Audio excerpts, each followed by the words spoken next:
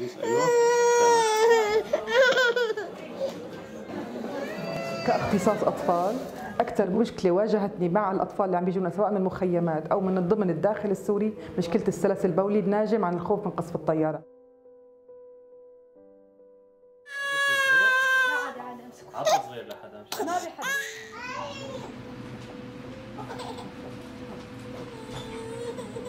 المشفى أنشئ تقريبا بال 2012 بال 2013 تقريبا تعرضت المشفى لقصف بالرشاش وطيران. فعملوا هي السواتر لحماية الكادر. عندنا قسم الإسعاف.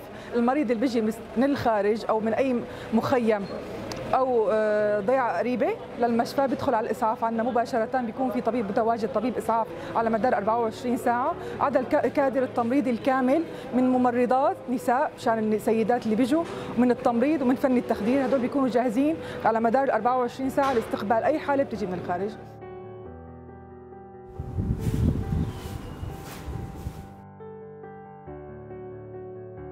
نحن حاليا أمام قسم العمليات بمشفى أطباء السلامة التابع لمنظمة أطباء بلا حدود. هون عبارة عن عمليات الجراحة العظمية والجراحة العامة بتتم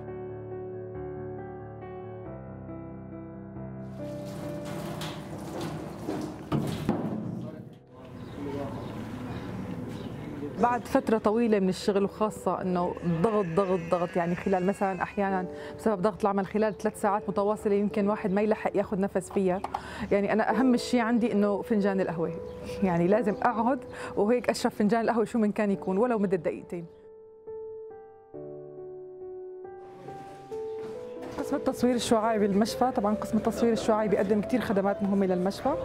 نحن المريض بيجي عنا إذا كان بحاجة إلى صورة صدرية أو إذا كان إصابة حربية في إصابة عنده بأي مكان. القسم كثير عم بيقدم خدمات كثير كبيرة ضمن المشفى إنه نحن ما عم نضطر نبعث المريض لمكان آخر حتى يصور الصورة.